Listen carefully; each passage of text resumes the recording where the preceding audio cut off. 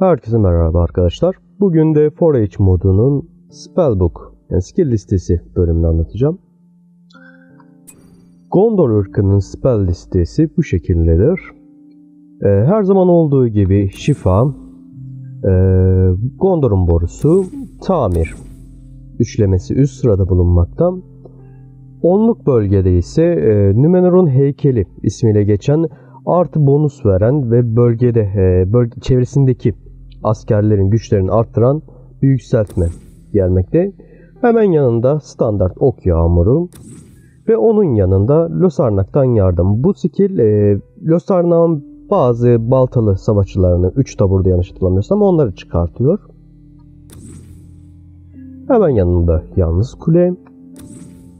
15'lik sırada Dünedain ordusu çağırabilmektesiniz. Ee, bunların içerisinde Ela'dan, Elohir ve Halbarat'tan gelmekte. Bulut dağıtıcı standardı var ve Rohir'in birliği gelmekte. 25'likte standart ölüler ordusu ve Dolamrot Hisarı bulunmakta.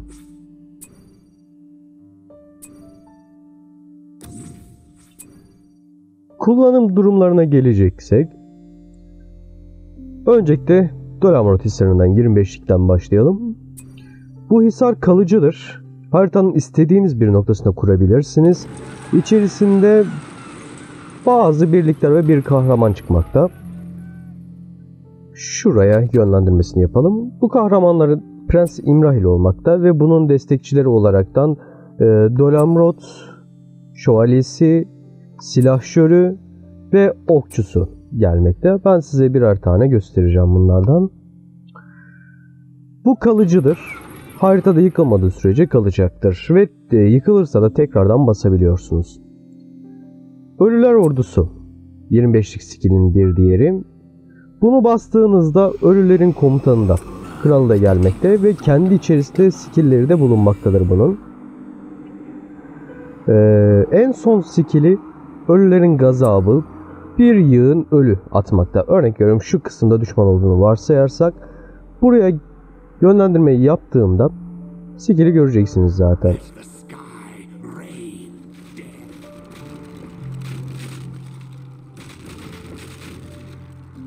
Bu şekilde ölüleri yağdırmakta oraya. Yemin bozanları ayrıyetten çağırabiliyoruz bunda. Yani zaten ölüleri yönetirken ekstradan ölü çağırabiliyoruz görünmezlik vermekte. Mesela şu kısmı görünmez yapabiliriz. Oraya görünmezlik katmakta ve süresi de bitti böylelikle. Tekrardan çağırırız. Bunların tamamını ayrı olarak kontrol edebiliyoruz.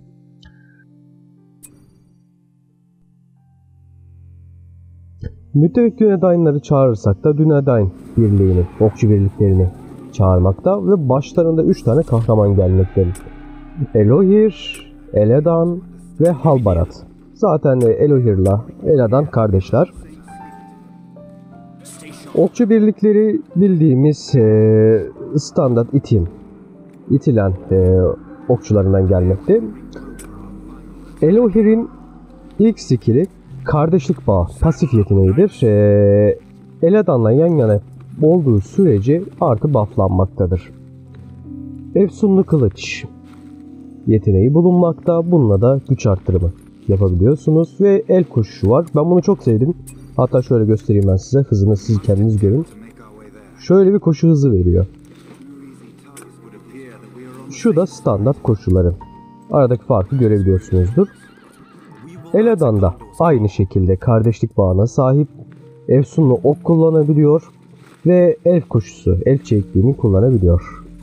Halbarat ise Gri limanların lideri yeteneğiyle, pasif yeteneğiyle okçulara artı 3, e, artı 30 zırh veriyor. Ve hazır ol. E, bu şey gibi.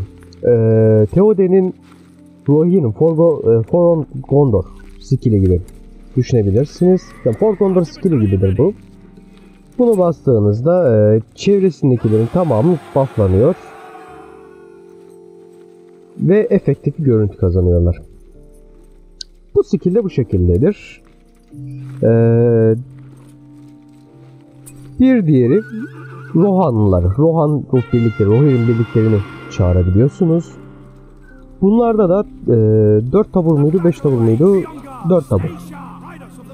Yok 5 tabur. 5 tabur Rohirrim birliği çağırabiliyorsunuz.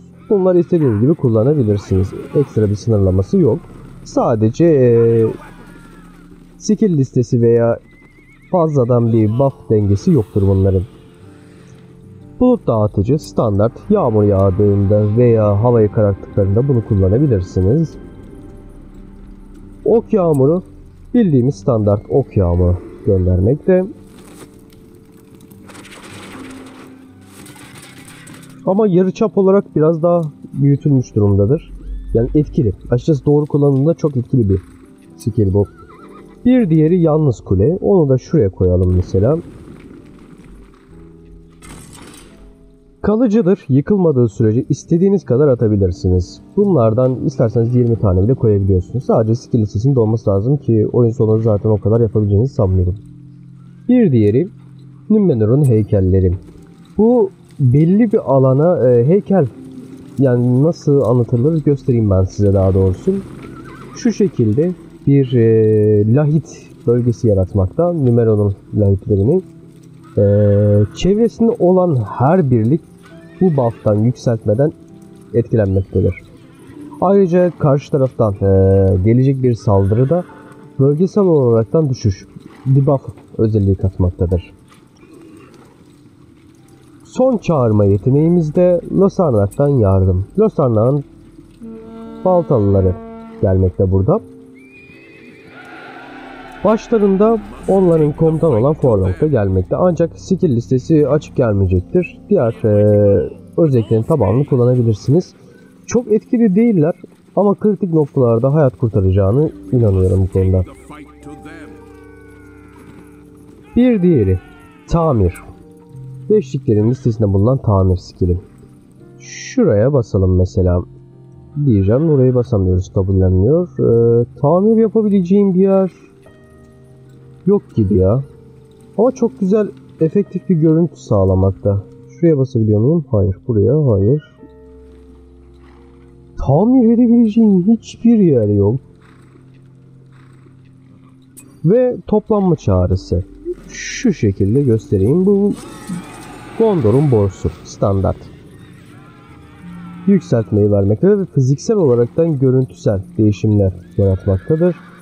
Ee, bu orijinal bir tasarım açıkçası. Yani sadece bir modda gördüm ama e, bu kadar dışa vurmuş yani parıltısı bu kadar yükseltilmiş değildi. Hoşuma gitti. Ve son ve ilk skillimiz iyileştirme. Bitki ustalığı. Şu alandakilerin tamamını iyileştirebilirsiniz ve yarı çapı çok büyük. Ee, muhtemelen taarruz birliğine geçtiğinizde tamamını iyileştirebilecek kadar bir alan kazanmakta. Skill listemiz bu şekildedir arkadaşlar. Ee, Gondor'un binaları ile ilgili olaraktan bir başka video çekilecektir. O zamana kadar kendinize iyi bakın.